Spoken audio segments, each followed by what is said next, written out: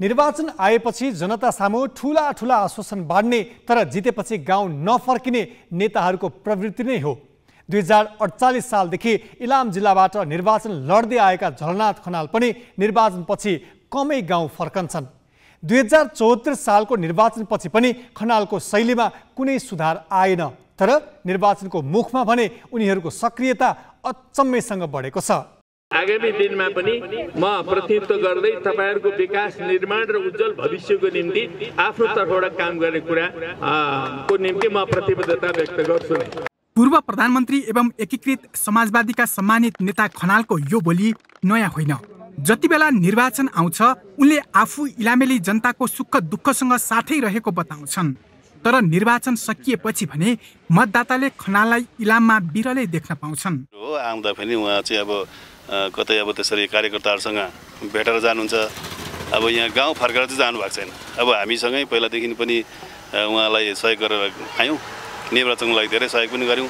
अब हामीसँग उहाँले बस्नु पनि भयो। निर्वाचनको लागि त्यति बेला हामीले सहयोग पनि गऱ्यौँ। तर उहाँहरूले हाम्रो लागि चाहिँ यो किसानको लागि चाहिँ पटक्कै सोच्नु भएको छैन होला जस्तो लाग्छ मलाई। बिहिबार भने उनै खनाल दिनभर नै इलाममा रहे।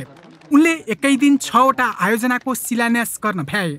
मङ्सिर चार गतेको निर्वाचनलाई प्रभावित पार्ने गरी उनले इलामको सूर्योदय नगरपालिकाका पाँचवटा सडक र एउटा बस पार्कको शिलान्यास गरेका हुन्।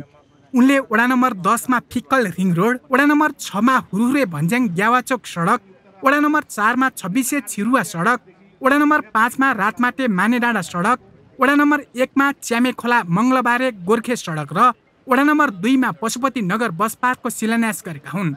पाँच वर्षको अवधिमा आफूले विकासका धेरै काम गरेको दावी गरेका खनालले अर्को पाँच वर्षमा सूर्योदय नगरपालिकालाई मुलुककै नमुना नगर बनाउने आश्वासन समेत दिन भ्याए। अब आउने पाँच वर्षमा यो नगरपालिकालाई साँच्चै नै एउटा देशकै नमुना नगरपालिकाको रूपमा एउटा सुन्दर नगरपालिकाको रूपमा व्यवस्थित नगरपालिकाको रूपमा हामीले यसलाई विकसित गर्नुपर्नेछ। सहरी विकास मन्त्री मेटमणि चौधरीलाई लिएर इलाम पुगेका खनालको बिहिबारको बिजुली गतिको दौडधुप इलामेली जनताको विकासको चाहनाप्रति भन्दा पनि आउँदो निर्वाचनमा संसदसँग पुग्ने अभिष्ट हो भन्ने बुझ्न गाह्रो पर्दैन। ग्यालेक्सी फोकेका लागि इलामबाट गोपाल निरौलाको रिपोर्ट।